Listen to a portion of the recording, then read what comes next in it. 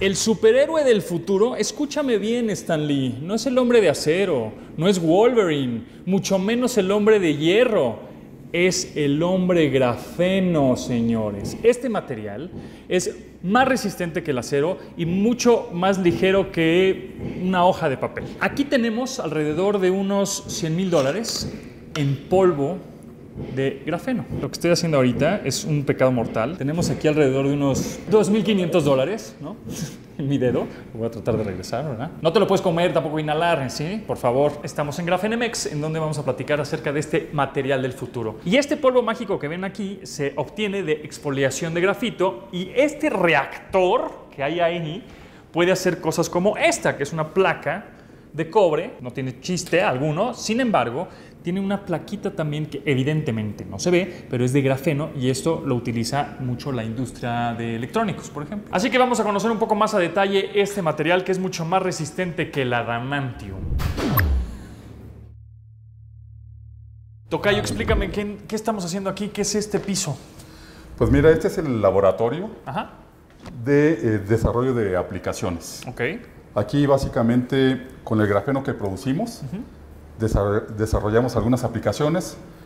En particular, ahorita nos estamos concentrando en compósitos poliméricos. Ok. Estos eh, plásticos O especializados, sea, súper plásticos. súper plásticos, Ok. reforzados, Ok. de alta resistencia, inclusive pueden tener conductividad, desde plásticos que te sirvan para blindaje.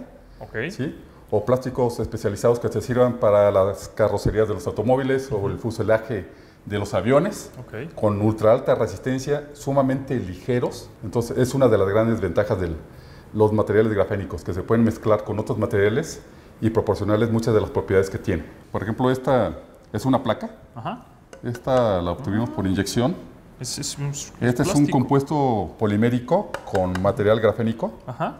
de ultra alta resistencia y siéntelo, Sí, está sí, sí, muy sumamente ligero. ligero. O sea, ni un kilo pesa y se ve que está ahí. Nuestra finalidad primero es tener el compuesto polimérico con las propiedades que estamos buscando de ultra alta resistencia, que sea sumamente ligero, etcétera.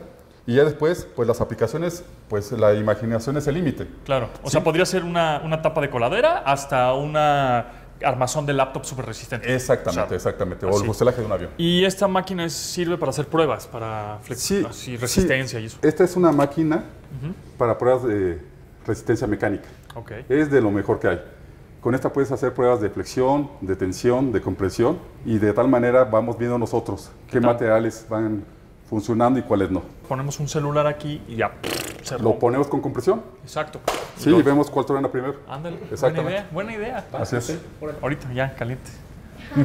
Otra propiedad del grafeno es que le da anticorrosividad a otros materiales. Por ejemplo, en este caso tenemos unas láminas de fierro. Las dos primeras que ven las pusimos en agua con el doble de salinidad del, del agua de mar Del mar. Ujú. y lo pusimos en electrólisis una hora, protegido supuestamente por un primer comercial. Y esta, el mismo primer comercial, le pusimos grafeno Y no- y después de esa hora en electrólisis con agua salina, está prácticamente limpio. Sin grafeno, con grafeno.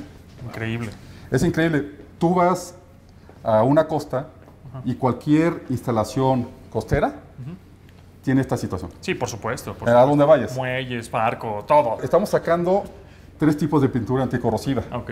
Un primer, un esmalte y una de poliuretano. Y estamos sacando una cuarta pintura vinílica, pero esa con otras características que también tiene el grafeno, que te lo hace antimicrobiano. Entonces, esta pintura vinílica antimicrobiana la vamos a poner en hospitales, en cualquier eh, institución que requiera. ¿Cuáles son las diferencias del óxido de grafeno al grafeno al grafeno reducido? Por ejemplo, el grafeno, que es el que, del que todo el mundo habla, es ultraconductor, ¿sí? es ultra resistente, Ajá. etcétera, todo lo que eh, hemos platicado, pero es hidrofóbico. Ok. Es difícil mezclarlo. Con ¿sí? agua y líquidos. Exactamente. El óxido de grafeno, por el contrario, es aislante, no es conductor y es hidrofílico. Ese lo puedes mezclar. Entonces puede haber ciertas aplicaciones que requieran que mezcles, ¿sí? Entonces es más conveniente usar óxido de grafeno. Entonces en esta aplicación estamos utilizando óxido de grafeno. En esta estamos usando óxido de grafeno. Ah. El reducido es un óxido de grafeno que tú le quitas átomos de oxígeno, Ok. lo reduces de tal forma que le re- regresas, digamos, condiciones del grafeno. Ah, Le regresas conductividad, ¿sí? Aunque le quitas un poco de la capacidad Como de el mezclarse. grafeno light.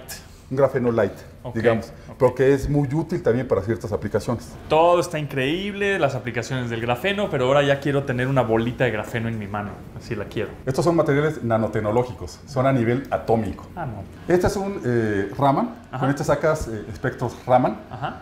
¿Cómo puedes determinar el grafeno? ¿Sí? Todo material tiene un espectro, ¿sí? Y este espectro es como una huella Dactilar. dactilar, haz de cuenta. Tú aquí pones el material y le disparas un rayo láser. Esto hace que eh, las moléculas del material empiecen a resonar y te generan un espectro. O sea, la única manera de ver el grafeno es a través de esta máquina, echando un rayo láser, y el- es el espectro que vemos. Es el espectro. Una forma que visualmente te puedes dar una idea del grafeno o del óxido de grafeno Ajá. Es eh, en aquellos que se obtienen por exfoliación de grafito, que es uno de los métodos para obtener eh, grafeno. Ok. Tú el grafito son muchas capas de carbono. ¿sí? Si tú esas capas de carbono las exfolias de forma tal que solo te quedes con una capa de carbono, eso ya se llama grafeno. Ok. ¿sí? Si, amba- si aparte le metes oxígeno entre las capas, ya se llama óxido de grafeno. Ok. ¿sí? Lo, lo oxidas. ¿sí? Entonces, estas eh, capas son tan delgadas que requerirías 3 millones de estas capas para tener un milímetro. Y en el caso del grafeno u óxido de grafeno que obtienes por desfoliación, Ah, tú obtienes un polvo, ¿sí? generalmente oscuro o café, dependiendo del, del material, y ahí sí puedes ver el polvo. ¿sí? La diferencia contra el grafito, que también lo ves en polvo, es que el que tú tienes como grafeno y óxido de grafeno, a nivel atómico, las capas de carbono están totalmente separadas. Pásale por acá. Ajá. Acá tenemos un laboratorio en el que se fabrica grafeno ok. por un método que se llama CBD. Nosotros tenemos el mejor equipo de CBD Ajá. no solo en México, en América Latina. Con este equipo, tú puedes producir grafeno de ultra alta, ultra alta calidad. Este es el grafeno que se utiliza más para cuestiones electrónicas, chips, sensores, etc. Oh. ¿Sí? En este reactor ingresan diversos gases. Por lo menos uno de los gases debe de tener carbono. Nosotros usamos metano. Y lo- el efecto es que los átomos de carbono se empiezan a separar y se depositan en un sustrato que generalmente es de cobre. ¿En dónde está parado México con respecto a este material y el futuro de este, de este grafeno? Nosotros creamos Grafenemex, somos eh, dos socios, Ok. mi socio Luis Caballero y yo, Ajá. Un par de locos que hace cuatro años se nos ocurrió que México Está buenísimo. podía así, también. Así tenemos varios, ¿verdad? Que nos ven. Pues sí, sí, sí. Y actualmente estamos con un cuarto laboratorio, lo estamos poniendo, con el cual vamos a triplicar nuestra capacidad de producción. En esta etapa de desarrollo del grafeno, todavía mucha gente, mucha gente, muchos industriales, etcétera, todavía no tienen claro o qué es el grafeno o cómo lo pueden incorporar a sus productos y cómo los podría mejorar. Exacto. ¿sí? Entonces, eso todavía va a tener una curva Claro. de unos cinco años. Pero va a haber un momento en que. No, esto, esto va a explotar. Entonces decidimos desarrollar nuestras propias aplicaciones. Tenemos ya aplicaciones que están próximas a ser lanzadas al mercado.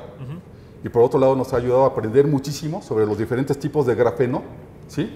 Y cómo los puedes eh, incorporar a cada aplicación. Este material, que es el material del futuro, eh, ¿de dónde fue el origen? El grafeno ya se conocía desde hace 50, 60 años. Fue hasta el 2004 cuando dos científicos rusos en la Universidad de Manchester lograron sintetizar el, el grafeno. Y se generó una carrera de investigación y de registro de patentes y ahorita estamos en medio de esa carrera. Europa, por ejemplo, tiene eh, su principal programa de investigación a nivel de Europa dedicado al grafeno. China está invirtiendo miles de millones de dólares en ciudades completas dedicadas al grafeno.